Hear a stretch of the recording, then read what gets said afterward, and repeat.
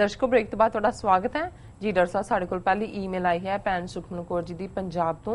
ਇਹ ਲਿਖਦੇ ਹਨ ਤੇ ਇਹਨਾਂ ਦੀ ਲਿਖਤ ਦਾ ਵਿਸ਼ਾ ਹੈ ਚੀਫ ਖਾਲਸਾ ਦੀਵਾਨ ਨੇ ਬਿਰਧ ਆਸ਼ਰਮ ਲਈ ਬਣੀ ਇੱਕ ਇਮਾਰਤ 20 ਜੁਲਾਈ ਤੋਂ ਆਈਆਈਐਮ ਨੂੰ ਦਿੱਤੀ ਹੈ।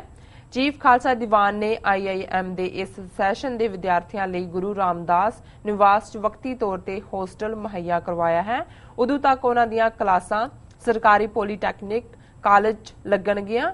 14 ਜੁਲਾਈ ਨੂੰ ਆਈਆਈਐਮ ਦਾ ਨੀਂਹ ਪੱਥਰ ਰੱਖਣ ਲਈ ਅਰੁਣ ਜੇਤਲੀ ਅੰਮ੍ਰਿਤਸਰ ਆ ਰਿਹਾ ਹੈ। ਐਚਆਰਡੀ ਮਿਨਿਸਟਰੀ ਦੇ ਅਧਿਕਾਰੀਆਂ ਨੇ ਅੰਮ੍ਰਿਤਸਰ ਜਾ ਕੇ ਹੋਸਟਲ ਦੇਖਿਆ ਹੈ। ਬਾਦਲ ਨੇ ਚੀਫ ਖਾਲਸਾ ਦੀਵਾਨ ਦੇ ਪ੍ਰਧਾਨ ਮਿਸਟਰ ਚੱਠਾ ਦਾ ਧੰਨਵਾਦ ਕੀਤਾ ਹੈ ਇਹ ਆਫਰ ਦੇਣ ਲਈ। ਮੈਂ ਕਦੇ ਕਿਸੇ ਮਦਰਸੇ ਜਾਂ ਸ਼ਿਸ਼ੂ ਵਿਹਾਰਾਂ ਜੋ ਆਰਐਸਐਸ ਵੱਲੋਂ ਚਲਾਏ ਜਾਂਦੇ ਹਨ ਬਾਰੇ ਨਹੀਂ ਸੁਣਿਆ ਕਿ ਉਹਨਾਂ ਨੇ ਕਦੇ ਐਦਾਂ ਹੋਸਟਲ ਜਾਂ ਹੋਰ ਚੀਜ਼ਾਂ ਲਈ ਜਗ੍ਹਾ ਮੁਹੱਈਆ ਕਰਵਾਈ ਹੋਵੇ। ਕੀ ਸਰਕਾਰ ਇਹਨਾਂ ਸੇਵਾਵਾਂ ਲਈ ਰੈਂਟ ਦੇਵੇਗੀ ਜਾਂ ਸਮੇਂ ਤੇ ਹੋਸਟਲ ਖਾਲੀ ਕਰੇਗੀ? ਸਰਕਾਰੀ ਅਦਾਰਿਆਂ ਤੋਂ ਤਾਂ ਆਪਣੇ ਹੀ ਖਰਚੇ ਨਹੀਂ ਭਰ ਹੁੰਦੇ, ਜਿਵੇਂ ਬਿਜਲੀ ਜਾਂ ਪੈਟਰੋਲ ਦੇ ਬਿੱਲ। ਦੂਜੀ ਗੱਲ, ਏਮਜ਼ ਹਸਪੀਟਲ ਦੀ ਲੋਕੇਸ਼ਨ ਬਾਰੇ ਟਸਲ ਚੱਲ ਰਹੀ ਹੈ। ਜੇ ਇਹ ਏਮਜ਼ ਪੰਜਾਬ ਦੇ ਰਿਮੋਟ ਖਿੱਤੇ 'ਚ ਸਥਾਪਿਤ ਕਰ ਵੀ ਦੇਣ, ਪਰ ਫਿਰ ਵੀ ਉਹ ਮਰੀਜ਼ਾਂ ਨਾਲ ਭਰੇ ਹੀ ਰਹਿਣਗੇ, ਕਿਉਂਕਿ ਪੰਜਾਬ ਦੇ ਸਾਰੇ ਲੋਕ ਦਿਮਾਗੀ ਤੌਰ ਤੇ ਬਿਮਾਰ ਹਨ। ਇੱਥੋਂ ਤੱਕ ਕਿ ਸ਼੍ਰੀਨਗਰ, ਜੰਮੂ ਕਸ਼ਮੀਰ 'ਚ ਏਮਜ਼ ਸਥਾਪਿਤ ਕੀਤੇ ਜਾਣ ਦਾ ਸ਼ਿਵ ਸੈਨਾ ਨੇ ਵਿਰੋਧ ਕੀਤਾ ਹੈ। ਉਹ ਚਾਹੁੰਦੇ ਹਨ ਕਿ ਏਮਜ਼ ਹਿੰਦੂ ਬਹੁਗਿਣਤੀ ਵਾਲੇ ਜੰਮੂ 'ਚ ਬਣੇ।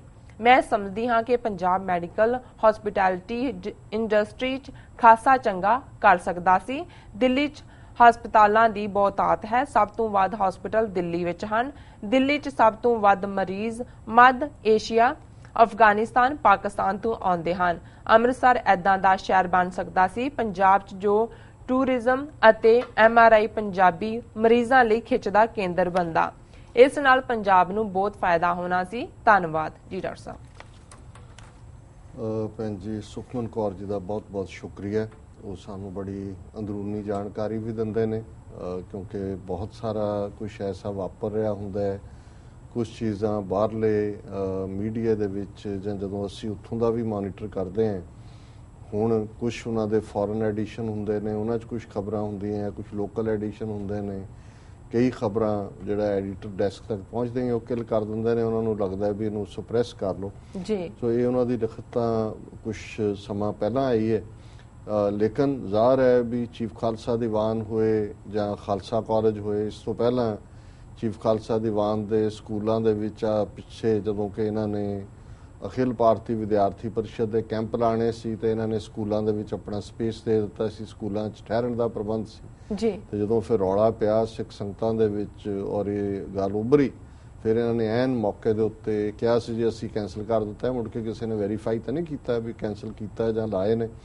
ਇਸੇ ਤਰ੍ਹਾਂ ਹੀ ਇਹ ਬੇਸ਼ੱਕ Indian Institute of Medicine IIM ਜਿਹਨੂੰ ਇਹਨਾਂ ਨੇ ਸ਼ਾਇਦ ਨਾਮ ਦਿੱਤਾ ਹੈ ਕਿਉਂਕਿ ਪਹਿਲਾਂ ਇਸ ਕਿਸਮ ਦਾ ਹੀ All India Institute of Medical Sciences ਜਿਹਦਾ ਨਾਮ ਏਮਜ਼ ਰੱਖਿਆ ਹੋਇਆ ਹੈ। ਸੋ ਇਹਨਾਂ ਨੇ ਜਿਹੜਾ ਐਲਾਨ ਕੀਤਾ ਹੈ ਕਿ ਜੀ ਅਸੀਂ ਜਿਹੜਾ ਇੱਥੇ ਖੋਲਾਂਗੇ ਉੱਥੇ ਖੋਲਾਂਗੇ ਪਹਿਲਾਂ ਤਾਂ ਪੰਜਾਬ ਦੇ ਵਿੱਚ ਜਿਹੜਾ ਏਮਸ ਦੇ ਹਵਾਲੇ ਦੇ ਨਾਲ ਹੀ ਟਸਲ ਹੈ ਕਿ ਜੀ ਪਹਿਲਾਂ ਅੰਮ੍ਰਿਤਸਰ ਖੋਲਣ ਦਾ ਸੀ ਫਿਰ ਹੋਇਆ ਜੀ ਬਠਿੰਡਾ ਲੈ ਗਈ ਹਰਸਿਮਰਤ ਕੌਰ ਬਾਦਲ ਨਾਲ ਹੀ। ਕਿਸ ਕਿਸਮ ਦੀ ਘਟੀਆ ਸਿਆਸਤ ਕਰਦੇ ਨੇ। ਉੱਥੇ ਕਹਿੰਦੇ ਅਮਰਿੰਦਰ ਸਿੰਘ ਜਿਹੜਾ ਉਹ ਕਹੇ ਕਿ ਬਠਿੰਡੇ ਨਹੀਂ ਖੋਲਣੀ ਚਾਹੀਦੀ। ਉਹਨੂੰ ਵੀ ਪਤਾ ਹੈ ਵੀ ਉਹਦਾ ਪਿੰਡ ਮਹਿਰਾਜ ਜਾਂ ਉਹਦੇ ਲਈ ਵੀ ਮਾਲਵਾ ਬੈਲਟ ਬਠਿੰਡਾ ਇੰਪੋਰਟੈਂਟ ਹੈ ਹਾਲਾਂਕਿ ਉਹ ਖੁਦ ਅੰਮ੍ਰਿਤਸਰ ਤੋਂ ਐਮਪੀ ਬਣੇ। ਸੋ ਇਹਨਾਂ 'ਚ ਜੋ ਅਗਲੇ ਹਸਪਤਾਲਾਂ ਦਾ ਹਾਲ ਹੈ ਜੋ ਈਵਨ ਹੁਣ ਪੀਜੀਆਈ ਦਾ ਹਾਲ ਬਣਿਆ ਹੋਇਆ ਹੈ ਕਿਸ ਕਿਸਮ ਦੇ ਸਕੈਂਡਲ ਸਾਹਮਣੇ ਆਉਂਦੇ ਨੇ ਇਹੋ ਜਿਹਾ ਹੀ ਏਮਜ਼ ਦਾ ਹੋਏਗਾ। ਪਰ ਜਿਹੜੇ ਕੰਸਰਨ ਭੈਣ ਜੀ ਸੁਖਮਨ ਕੌਰ ਜੀ ਨੇ ਦੱਸਿਆ ਕਿ ਚੀਫ ਖਾਲਸਾ ਦੀਵਾਨ ਨੇ ਜਿਹੜੀ ਉਹਨਾਂ ਦੇ ਬਿਰਧ ਘਰ ਦੀ ਇਮਾਰਤ ਸੀ ਕਿਉਂਕਿ ਜਦੋਂ ਵੀ ਕੋਈ ਇੰਸਟੀਚਿਊਟ ਬਣਦੀ ਹੈ ਲੰਬਾ ਸਮਾਂ ਲੱਗਦਾ ਹੈ ਉਸ ਨੂੰ ਉਹਦੇ ਲਈ ਜ਼ਮੀਨ ਐਕਵਾਇਰ ਕਰਨਾ ਕੰਸਟਰਕਸ਼ਨ ਦੂਜੇ ਤੀਜੇ ਪਰ ਨਾਲ ਦੀ ਨਾਲ ਹੀ ਉਹਨਾਂ ਨੇ ਜਿਹੜਾ ਇਹ ਸ਼ੁਰੂ ਕਰ ਦਿੱਤਾ ਉੱਥੋਂ ਦੀ ਕੋਈ ਪੋਲੀਟੈਕਨਿਕ ਦੇ ਵਿੱਚ ਕੋਈ ਕਲਾਸਿਸ ਜਾਂ ਕੋਈ ਤੇ ਰਹਿਣ ਦੇ ਲਈ ਚੀਫ ਖਾਲਸਾ ਦੀਵਾਨ ਨੇ ਗੁਰੂ ਰਾਮਦਾਸ ਨਿਵਾਸ ਜਿਹੜਾ ਉਹਨਾਂ ਨੂੰ ਵਹੀਆ ਕਰਵਾਇਆ ਜੇਤਲੀ ਨੇ ਆ ਕੇ ਉਹਦਾ ਉਦਘਾਟਨ ਕਰਨਾ। ਸੋ ਉਹਨਾਂ ਦਾ ਇਹ ਕੰਸਰਨ ਹੈ ਕਿ ਵੀ ਉਹ ਜਿਹੜਾ ਉਹਦਾ ਉਹ ਚੀਫ ਖਾਲਸਾ ਦੀਵਾਨ ਸਿੱਖਾਂ ਦੀ ਸੰਸਥਾ ਹੈ ਪੈਸਾ ਤੇ ਸਿੱਖਾਂ ਦਾ ਕਿ ਵੀ ਉਹਦਾ ਕੋਈ ਰੈਂਟ ਹੋਏਗਾ, ਕਿਰਾਇਆ ਹੋਏਗਾ ਜਦੋਂ ਖਾਲੀ ਕਰਵਾਉਣਾ ਹੈ, ਖਾਲੀ ਕਰਨਗੇ, ਨਹੀਂ ਕਰਨਗੇ। ਪਰ ਅਸੀਂ ਆਲਰੇਡੀ ਦੇਖ ਰਹੇ ਹਾਂ ਵੀ ਜੋ ਹਾਲ ਖਾਲਸਾ ਕਾਲਜ ਜਿਹੜੀ ਕੌਂਸਲ ਹੁਣ ਜਿਹੜਾ ਖਾਲਸਾ ਕਾਲਜ ਦਾ ਕਰਤਾ ਧਰਤਾ ਹੈ, ਸਤਿਆਜੀਤ ਸਿੰਘ ਮਜੀਠੀਆ ਉਹ ਬੀਜੇਪੀ ਦਾ ਜਿਹੜਾ ਸਭ ਤੋਂ ਖਾਸਮ ਖਾਸ ਬੰਦਾ ਹੈ।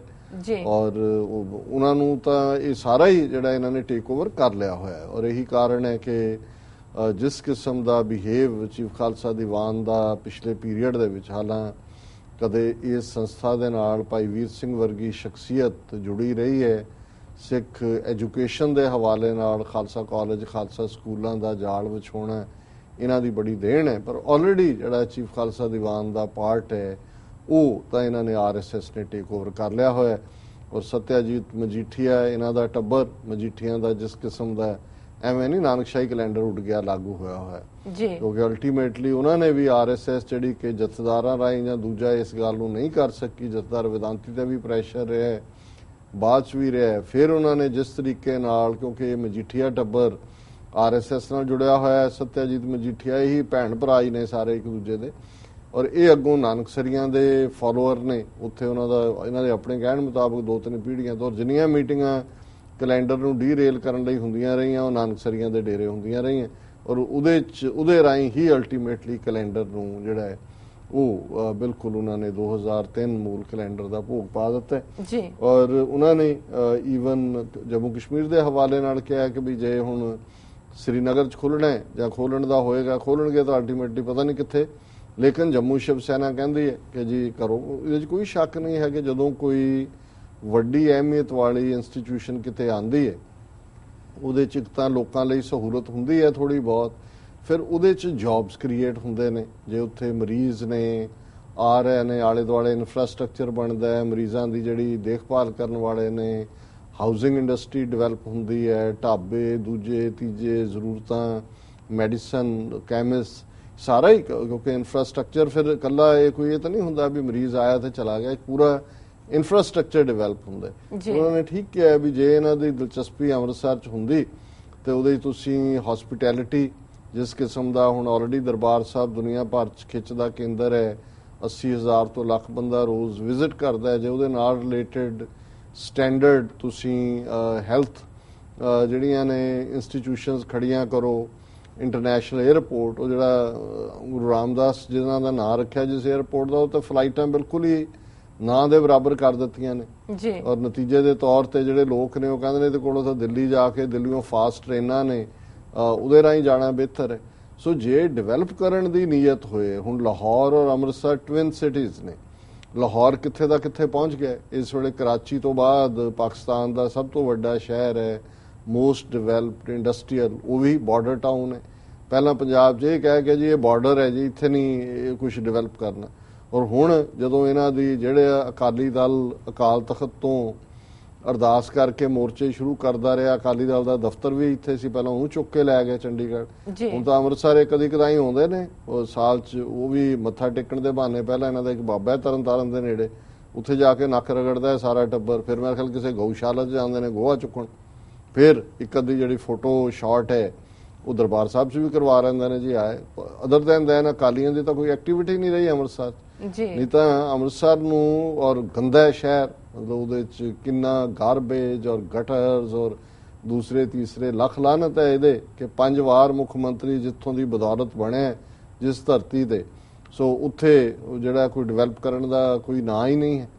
ਔਰ ਦੂਸਰੇ ਪਾਸੇ ਜਿੱਥੇ ਪੈਸਾ ਬਣਦਾ ਹੈ ਜ਼ਮੀਨਾਂ ਦੇ ਮਾਮਲੇ 'ਚ ਬਠਿੰਡਾ ਹੁਣ ਜਿਹੜਾ ਜਨਰਲ ਹਲਕਾ ਬਣ ਗਿਆ ਪਾਰਲੀਮੈਂਟ ਦਾ ਉਹਨੂੰ ਪੂਰਾ ਆਪਣੀ ਜ਼ਗੀਰ ਸਮਝਦੇ ਨੇ ਤੇ ਛੋਟਾ ਚੰਡੀਗੜ੍ਹ ਬਣਾਉਣ ਦੇ ਨਾਂ ਥੱਲੇ ਚੰਡੀਗੜ੍ਹ ਦੇ ਨੇੜੇ ਆਪਣੀਆਂ ਪਹਿਲਾਂ ਹੀ ਜ਼ਮੀਨਾਂ ਲੈ ਲਈਆਂ ਔਰ ਫਿਰ ਉੱਥੇ ਪੈਸੇ ਬਣਾ ਰਹੇ ਨੇ। ਜੀ। ਸੋ ਕੁੱਲ ਮਿਲਾ ਕੇ ਇਹ ਸਾਰੀ ਪਿਕਚਰ ਜਿਹੜੀ ਹੈ ਇਹ ਗਲੂਮੀ ਹੈ ਉਦਾਸ ਹੈ।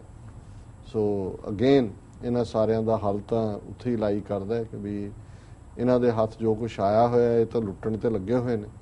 ਔਰ ਜਿਨ੍ਹਾਂ ਦੀ ਕੁਹਾੜੀ ਦਾ ਦਸਤਾ ਬਣੇ ਹੋਏ ਨੇ ਉਹਨਾਂ ਨੂੰ ਸੂਟ ਕਰਦਾ ਹਰ ਤਰੀਕੇ ਦੇ ਨਾਲ ਜੇ ਅੰਮ੍ਰਿਤਸਰ ਦੀ ਅਹਿਮੀਅਤ ਖਤਮ ਹੁੰਦੀ ਹੈ ਅੰਮ੍ਰਿਤਸਰ ਦੀ ਔਰ ਜਿਹੜੇ ਲੋਕ ਦਰਬਾਰ ਸਾਹਿਬ ਆ ਕੇ ਆਸ਼ਸ਼ ਕਰਦੇ ਫੋਰਨਰ ਨਿਕਲਦੇ ਵੀ ਨੇ ਬਾਹਰ ਚਾਰ ਚਫੇਰਾ ਇਸ ਕਿਸਮ ਦਾ ਗੰਦਲਾ ਹੈ ਔਰ ਇਸ ਕਿਸਮ ਦੀ ਪੋਲਿਊਸ਼ਨ ਔਰ ਕੰਜੈਸ਼ਨ ਔਰ ਡਰਟ ਹੈ। ਜੀ। ਕਿ ਉਹ ਕਹਿੰਦੇ ਨੇ ਵੀ ਆ ਸਿੱਖਾਂ ਦੇ ਗੁਰੂ ਦਾ ਸ਼ਹਿਰ ਚਾਰ ਸਦੀਆਂ ਪਹਿਲਾਂ ਗੁਰੂ ਕੀ ਨਗਰੀ ਐਂਡ ਕੀ ਇੱਥੇ ਇਹਨਾਂ ਨੇ ਹੈਲ ਕ੍ਰੀਏਟ ਕੀਤਾ ਹੋਇਆ? ਜੀ ਡਾਕਟਰ ਸਾਹਿਬ। ਸੋ ਭੈਣ ਜੀ ਸੁਖਮਨ ਕੌਰ ਜੀ ਦਾ ਬਹੁਤ ਬਹੁਤ ਸ਼ੁਕਰੀਆ। ਜੀ ਡਾਕਟਰ ਸਾਹਿਬ ਨਾਲ ਲੈਣੇ ਬ੍ਰੇਕ ਵੀਅਰਸ ਤੁਸੀਂ ਕਿਤੇ ਨਹੀਂ ਜਾਣਾ? ਮਿਲਦੇ ਹਾਂ ਛੋਟੇ ਬ੍ਰੇਕ ਤੋਂ ਬਾਅਦ।